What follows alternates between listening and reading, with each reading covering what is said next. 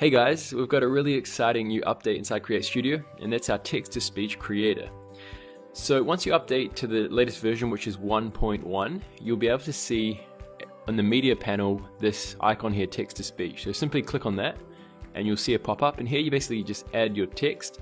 So say, hey, welcome to Create Studio, like so. And then you can select an accent and also a voice. So let's say we just select Dave for example. You can adjust the speed and the pitch and click on generate. And then simply click on preview. And you've got your text to speech voiceover. And when you want to add it to your media library, simply click on this button here. And this will add it to your media library. So if I bring this up again, what I'm going to do now is just type in a French uh, text that I got from Google Translate.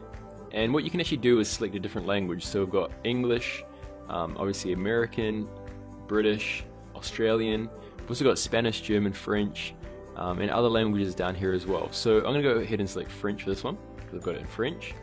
Um, and then I can go th through and click on Generate, and click Preview.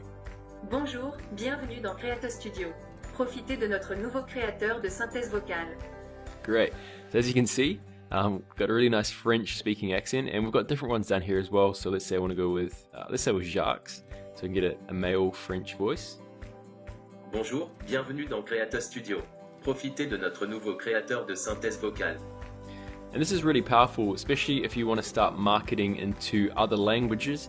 Um, you can basically, you know, create, uh, you know, the same video that you have and just use these text-to-speech um, languages, and you can start to market to a global audience, especially when you're doing um, different ads targeting different nations. You can have specific landing pages, and you can basically, you know, use these text-to-speech voiceovers to communicate to people in different languages.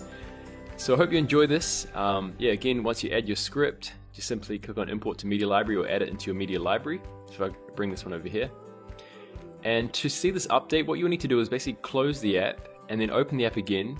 And after about five minutes or so, it will basically download the latest version. And when you go back into the welcome screen, you'll see a pop-up saying, um, you know, download is ready and click to restart and it'll basically restart it and you'll, you'll see this option to it with the text to speech. So if I just grab this text to speech, drag it onto the timeline, I can go through and click on this drop down to see the actual waveform as well. And if I click on play, Bonjour, bienvenue dans Creator Studio. Profitez de notre nouveau créateur de synthèse vocale. You can see I've got really nice looking uh, text to speech um, voiceover. So I hope you enjoyed this. If you like it, make sure to add a like on this video and add a comment below.